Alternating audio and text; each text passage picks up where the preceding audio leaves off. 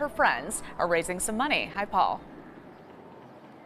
Hi, Caitlin. Yeah, still a few weeks left of summer, so it kind of makes sense that they're doing a lemonade stand for the fundraiser here. But if you come over here and walk with me, you can see that this is so much more than a lemonade stand. They have Rice Krispies treats, they have cookies, earrings, there's some face painting going on here, and of course, there's the lemonade stand over there as well. And it's all for an amazing cause. Doctors diagnosed Ella, Ella Winters with leukemia back in April. She's currently bravely fighting through her fourth round of chemo and has spent a lot of time at Children's Hospital Milwaukee.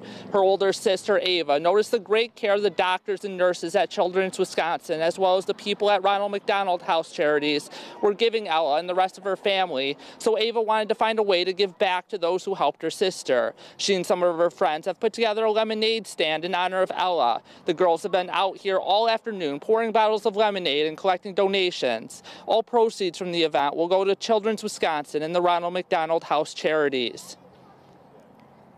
It feels so good when someone just donates, and then I realize how many good people there are in this world and how they want to help, and that's just amazing to me. I'm really grateful that everyone like showed up and did all this stuff for me, and all the stuff that they made, and I'm just really happy to be here.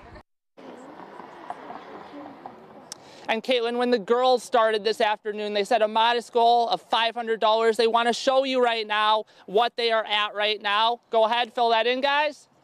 $2,500 they have already raised. And the best thing about all of this is that they still have an hour left here this afternoon. If you want to come out, we're on the corner of Lawrence Drive and Creamery Road here in De Pere. But for now, though, live from De Pere, Paul Steno, Local 5 News. Wow, that is awesome news.